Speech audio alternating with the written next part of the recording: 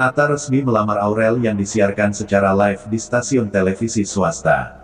Akhirnya setelah sempat tertunda, keduanya bisa berjumpa dengan keluarga besar masing-masing hari ini. Secara khusus, Atta Halilintar meminang Aurel ke hadapan keluarga besarnya.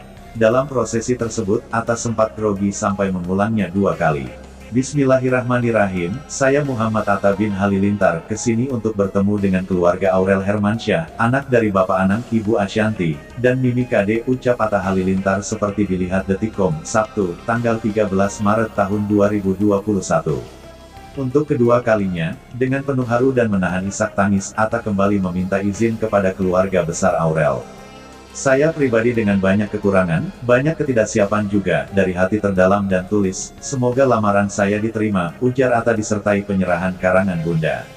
Anang Hermansyah selaku ayah dari Aurel Hermansyah sebelum menjawab pinangan Atta untuk putrinya, untuk terakhir kalinya bertanya. Untuk anakku Aurel, kamu benar mau menerima Atta? Tanya Anang. Iya benar, jawab Aurel. Yakin, 100% yakin. Tanya Anang disertai anggukan Aurel. Soalnya Ata tadi nangis loh. Enggak tegar, yakin, kalau kamu setuju, Pipi merestui, timpal Anang. Dengan lamaran ini dan atas keberlanjutan hubungan antara anakku Aurel dan Ata, kami keluarga besar menerima dengan baik, lanjutnya.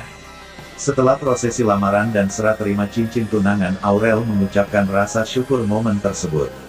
Akhirnya Ata resmi melamar Aurel hari ini. Alhamdulillah, yang pastinya saya senang, kata Aurel bahagia. Semoga diberikan kelancaran sampai hari H nanti. Terima kasih buat abang dan keluarga, lanjut Aurel. Dalam sesi spesial lamaran tersebut, Krisdayanti dan Yuni Sara turut mendampingi keluarga Ashanti dan Anang Hermansyah. Mantan istri Anang itu juga memakai seragam kebaya yang senada berwarna ungu. Selain itu, prosesi lamaran Aurel dan Anang juga dihadiri oleh Judika, Ari Lasso, Maya Estianti.